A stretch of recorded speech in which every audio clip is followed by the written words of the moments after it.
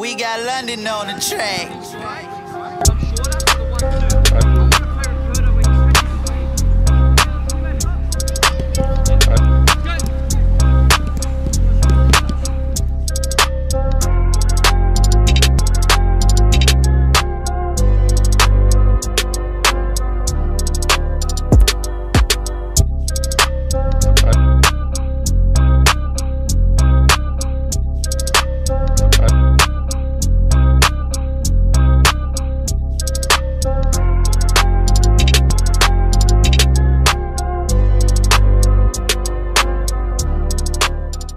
Each player in the full-time program is taken through a complete assessment, and not just to identify weaknesses, but for us is also to identify their strengths.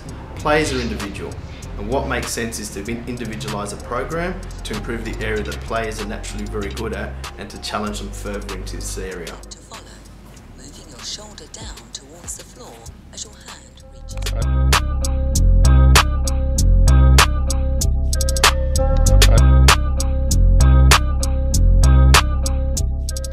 We address everything from good warm-up techniques, recovery techniques, core stability and activation techniques. We'll progress them through plyometric strength control with both double single leg landing techniques, principles of acceleration, deceleration, agility, both planned and unplanned changes of direction. It's an important part of the training.